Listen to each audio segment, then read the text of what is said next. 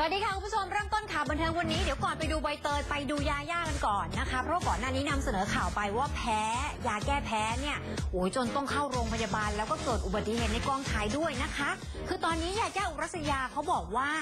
เขาไม่ได้เป็นลมในกองถ่ายละคร แต่ว่าเกิดอุบัติเหตุขึ้นจริงที่บริเวณนิ้วก็เลยทำให้ต้องเย็บแผลเดี๋ยวให้คุณผู้ชมไปดูภาพเลยนะคะ คือเย็บทั้งหมดเนี่ยสามเข็ม แล้วแพทย์ก็ให้รับประทานยาฆ่าเชื้อ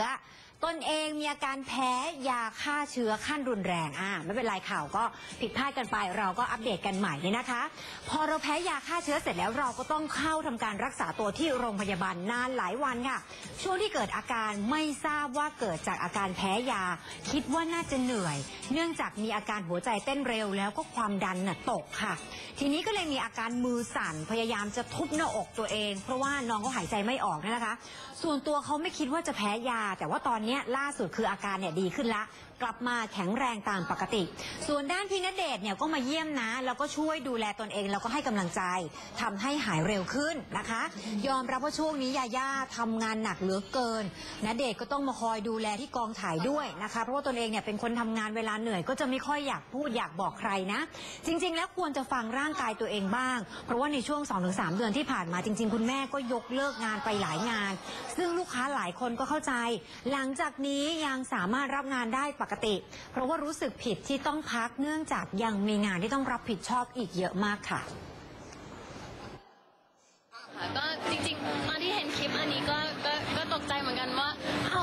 ลงด้วยเนาะคือไม่ได้ไม่ได้อยากให้คนเห็นแบบเราในสภาพขนาดนั้น มีอุบัติเหตุเล็กๆน้อยๆในกอง แล้วหนูต้องไปเย็บสามเข็มค่ะแพ้เมกค่ะซึ่ง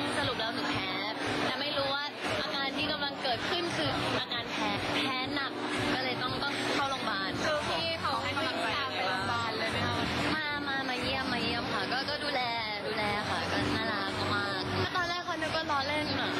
เพราะว่าแบบปุ๊บปั๊บเข้าเลยอะไรอย่างเงี้ยค่ะ ก็ก็มาให้กำลังใจ ดีค่ะดีค่ะเพราะว่าทุกอย่างมันอยู่ที่ใจค่ะ เราจะหายไวหายช้าคือถ้าใจมันดีมันก็หายไว อันนี้เป็นอีกหนึ่งสาเหตุที่ทำให้พี่เดชต้องคอยตามไปดูแลที่กองถ่ายหรือเปล่า ด้วยมั้งคะแล้วก็เหมือนแบบช่วงนี้คือต้องยอมรับว่าหนูทำงานหนักมากๆ แล้วก็บางทีก็เบลอๆแบบแบบโอ้ยอุบัติเหตุเยอะมากๆ ในช่วงนี้อะไร